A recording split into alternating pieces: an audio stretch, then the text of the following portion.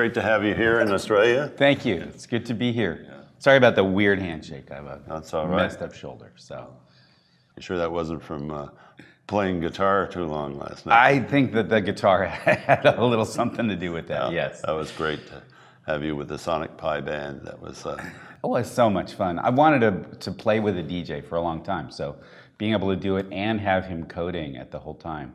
The, the fun thing was to notice there were a group of people who were out dancing, uh, and then there were a group of the really geeky geeks who were standing off to the sides, absolutely still trying to figure out how Sam was coding that. Like, how does, how does that code relate to the sounds I'm hearing? But it's really the code is the important thing here in the midst of all this chaos. That was so much fun to watch.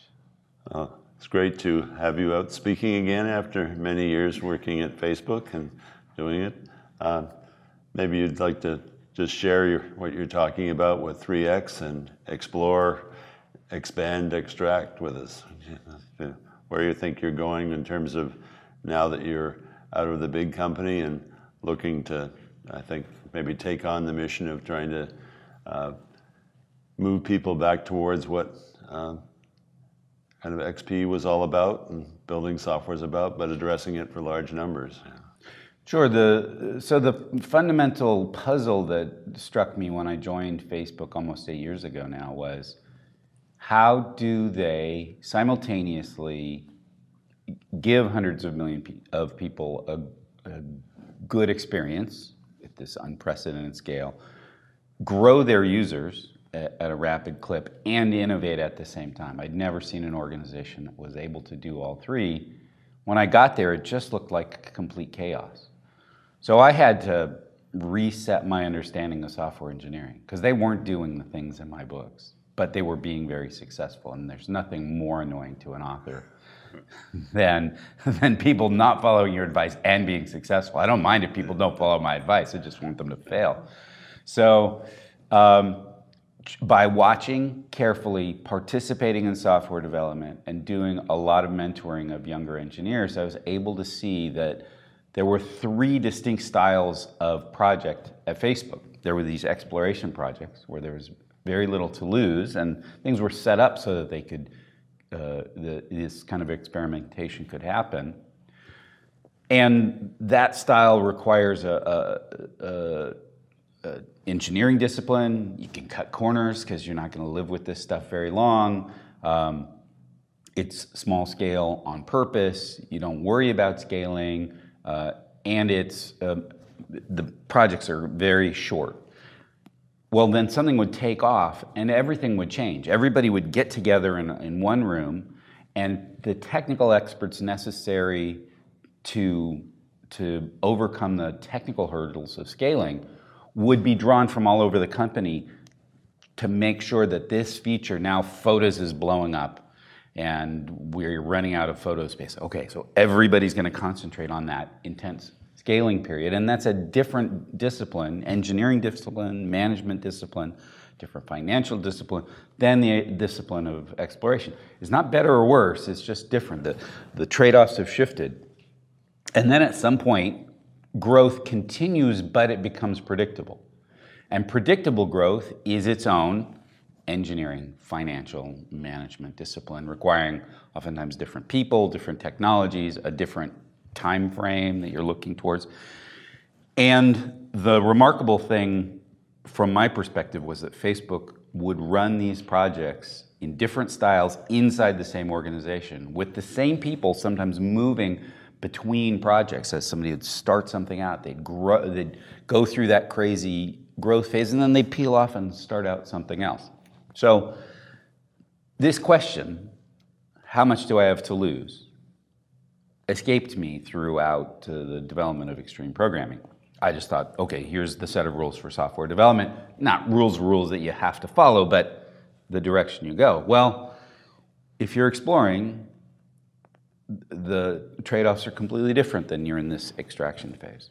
So uh, that was a big wake-up call to me. Uh, uh, humility about, you know, do you write tests? Do you estimate? Do you have deadlines? Ah, it all depends. Um, so that, that was the big lesson.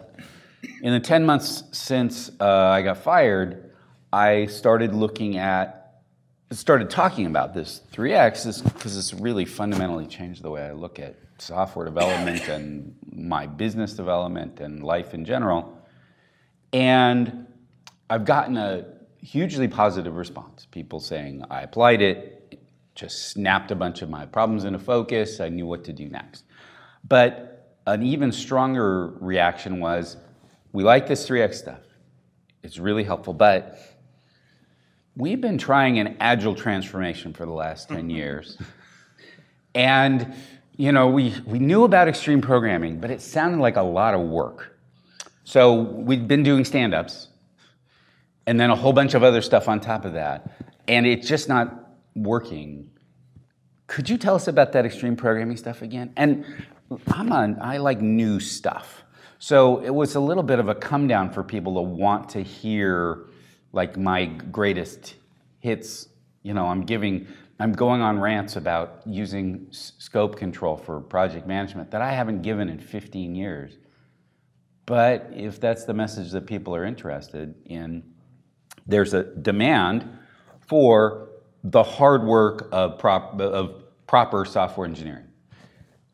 Coupled with this, there's this 3x question that, that profoundly influences what proper means, that sets the context for that.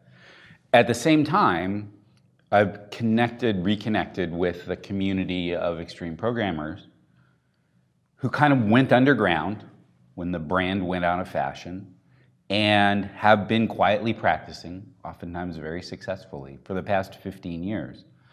So there's this, there's this intense demand for people who are willing to put in the work to get the value that they were promised with agile development, and this hundreds, thousands of very experienced practitioners who are able to explain, okay, you want to do the work, here's the work that you need to do. And so um, it, it, was, it's, it's all fragmentary at the moment. And I think a, a big project for myself for the rest of, of or for this, this coming year is seeing how best to bring that desire for the hard work of improvement together with the people who really know how to do that. I want to do that in a way that's less, uh, less personal than it was last time around, um, more of a producer, um, but uh, bringing those, those groups of people together and seeing what can happen. Because the fundamental promise of software development remains unfulfilled. Like the, we have this technology that scales like nothing in human history, and we're not using it nearly as effectively as we could, and that still pisses me off. So that's what I would like to see happen. Oh, we look forward to seeing that. Um, just to switch topics a bit, um, you've been doing some experiments with uh, you know, working with, you know, trying to see what, what techniques might work with very large numbers of programmers. Mm-hmm. You want to talk a little bit about those? Sure. Towards the end of my time at Facebook, I'd seen Facebook grow from 700 engineers to, to 5,000 engineers. And there, was, there were plenty of people thinking, how do you get from 5,000 to 10,000? So thought, that's not an interesting question. What would it take for 100,000 engineers to collaborate on the same system? at the same time. And one of the universally recognized fundamental truths of development in this code review pull request style is that smaller pull requests are better. So I thought, okay, well, just some, I don't have very many tricks, Dave. So I'm just going to turn the crank on small diffs absolute to the maximum and see what happens. And so the, the name of the project is Limbo, because the Limbo song asks, how low can you go?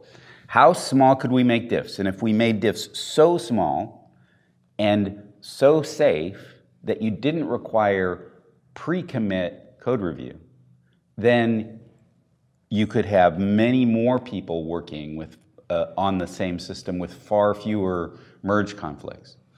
And uh, I've started like concrete experiments, and it's clearly impractical to have you edit a comment and have that pushed out to production on thousands of machines and millions of smartphones.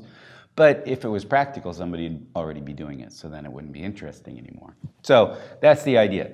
Um, and I don't know where that's going to go or how to push it forward. But I mean, I, I think you know both our shared experience working with Smalltalk and our certainly our environment with, with the the ENVY developer environment was that basically people were sharing very fine-grained changes to the image, and in fact, you know, you essentially you didn't merge because you were always merged, right? Yes. In a sense, so you, you didn't, and the pieces were far enough apart, even though there were lots of changes, that the number of times you actually got a conflict was really low. I Right. Mean, I mean, yeah. Right, and, and that's the question. If you if you crank that change size down far enough, and and your environment knows what you're doing, so you're not just editing random text. You're like, I'm deleting a comment. Well, okay, that's safe.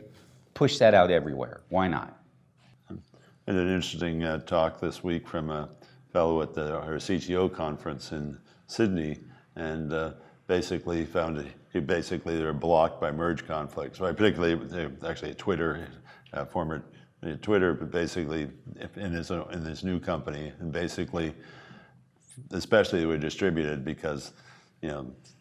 He used to have to wait for someone at Google to approve, then someone at Twitter to appro- approve, and find someone to.